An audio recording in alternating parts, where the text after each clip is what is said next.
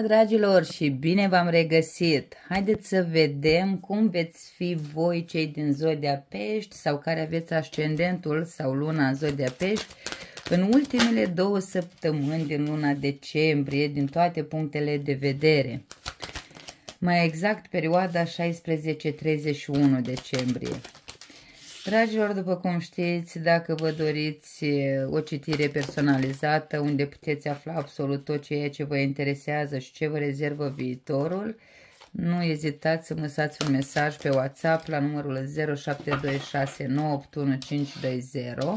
număr pe care îl veți găsi și în descrierea acestui video de asemenea, dacă vă doriți și vă face plăcere să-mi lăsați un like, un coment sau să vă abonați acestui canal și să fim un număr cât mai mare și mesajele mele să ajungă la cât mai multă lume, uh, puteți să-mi lăsați uh, sau nu. Vă mulțumesc pentru toate lucrurile acestea și că îmi sunteți alături, da? ca să încheiem așa mai frumos. Bun, hai să vedem care este energia principală pentru prima săptămână din acest interval. Și aici avem judecata. Dragilor, simțiți nevoie să vă eliberați de anumite frământări interioare care nu vă dau pace de foarte mult timp.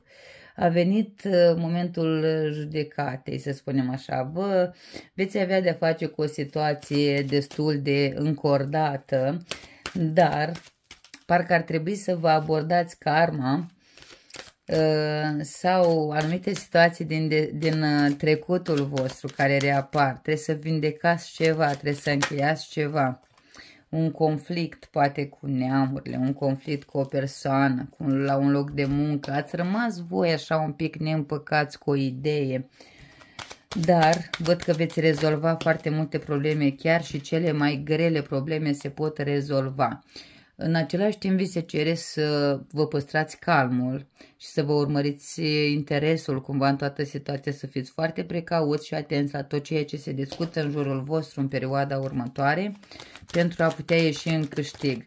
E foarte posibil să fie cineva care vine să vă ceară iertare pentru ceva greșit. În același timp poate fi vorba despre o eliberare sau o informație care vă ajută pe voi să scăpați de probleme vechi să rezolvați o, o situație sau să ieșiți dintr-o zonă în care v-ați cam obișnuit. Da? E o situație care vă cam scoate din rutină, dar trebuie să tratați toată perioada cu mult calm. Prima săptămână, cel puțin din acest interval. E posibil să aveți de-a face cu semne de foc, berbec leu săgetător, în a doua săptămână văd foarte multe drumuri pe care voi le veți face ca să rezolvați chestiuni, probleme, să mai încheiați anumite lucruri.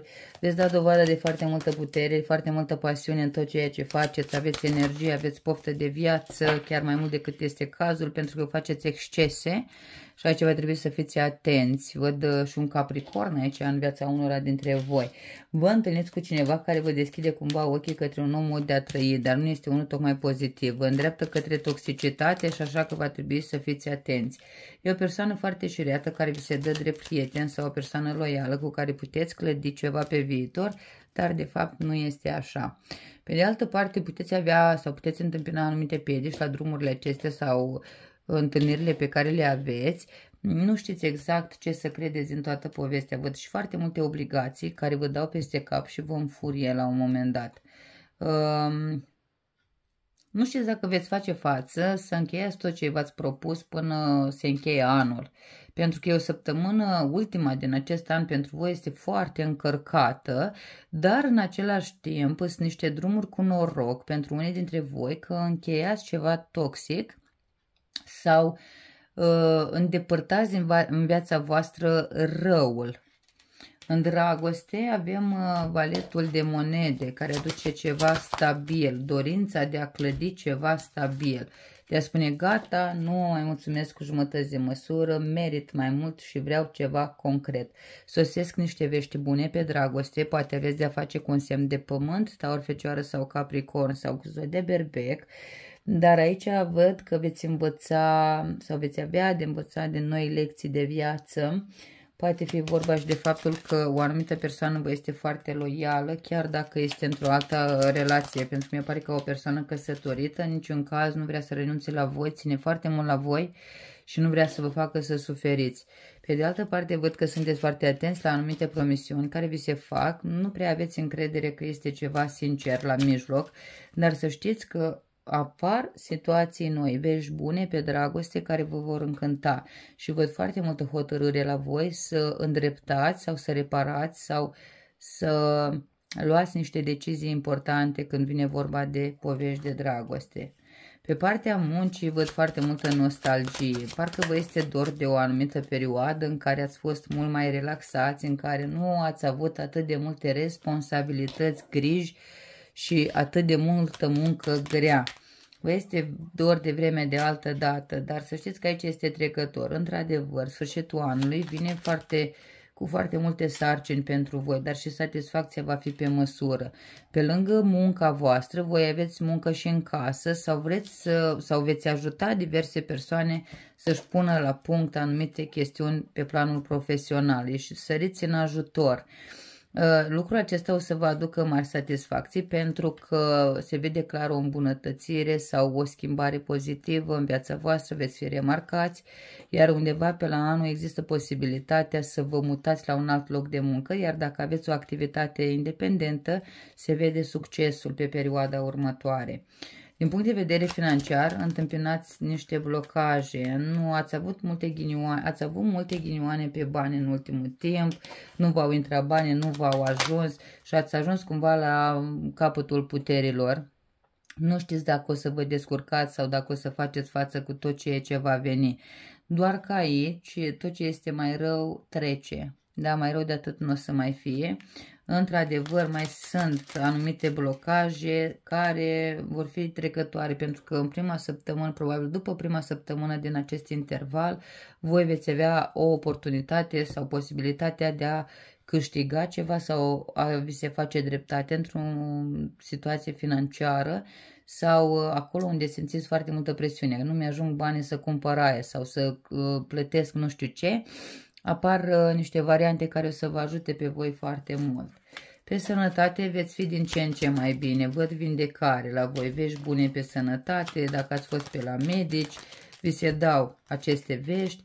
Uh, nu aveți probleme de sănătate și nici de acum încolo, o lungă perioadă de timp, nu vă să întâmpinați ceva.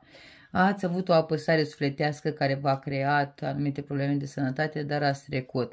Poate unii dintre voi ați trecut într-adevăr prin ceva mult mai greu, mult mai dureros, doar că vă reveniți, începeți să, vă fiți, să fiți mai în formă, să vă simțiți mult mai bine.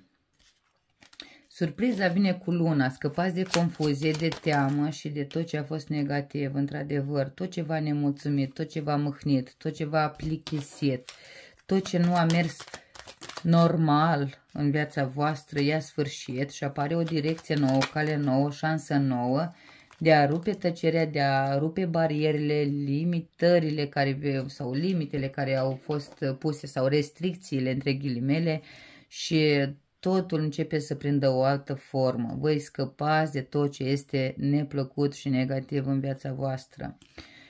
Uh, provocarea vine prin muncă. Da? Deci, dragilor, chiar veți munci foarte mult în perioada următoare, dar și satisfacția va fi pe măsură, pentru că veți avea uh, parte de reușite, de toate punctele de vedere.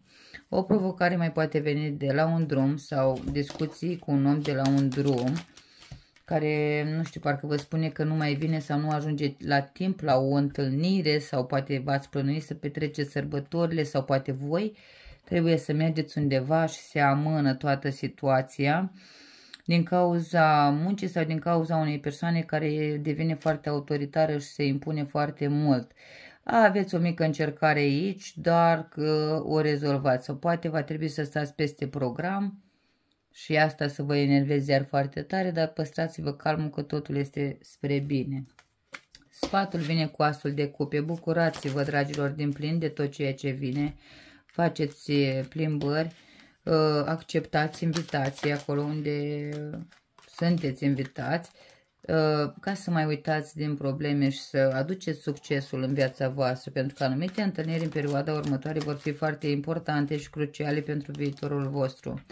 Văd că va trebui să luați și niște decizii sau să vă alegeți o cale sau aici probabil din nou ca și sfat Dacă sunteți invitați în mai multe părți, dacă trebuie să faceți mai multe lucruri sau mai multe drumuri, uh, urmați-vă inima, sufletul, da? Inima o să vă uh, îndrepte către situații sau uh, persoane care o să vă încânte sau o să aducă un succes în viața voastră.